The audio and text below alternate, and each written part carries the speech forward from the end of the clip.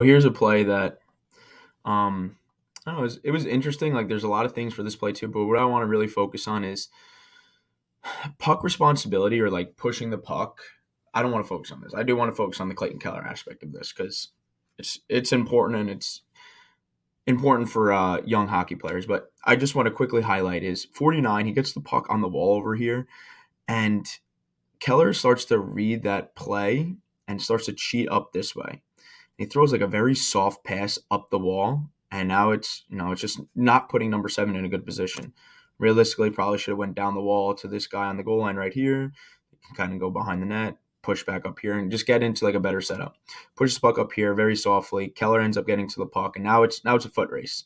And Keller is Keller is five foot 10, 178 pounds. Devon Toews is 6'1, 198 pounds, 191 pounds, according to like uh, NHL stats, like what their bio says. And the way Keller protects the puck, you're going to see it again because they show it a couple times, and I think NHL highlights show it for the the reason of like how Keller protects the puck.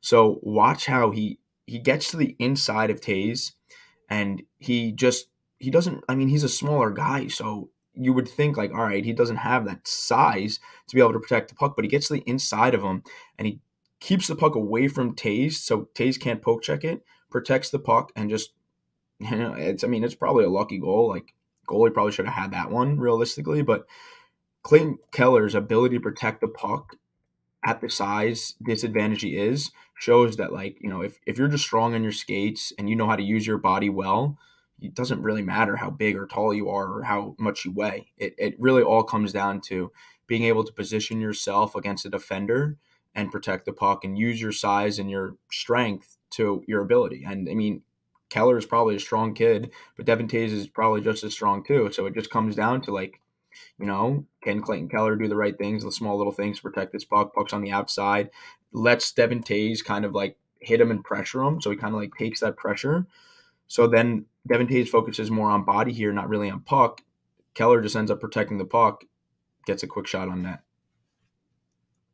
And I, I think the importance here is too, like Keller takes the pressure, and when he takes the pressure, he loads that puck on his on the outside part of his body while he's taking the pressure, and then he just kind of like he's like, oh, don't have a lot of time, I just put it on net, and he gets lucky.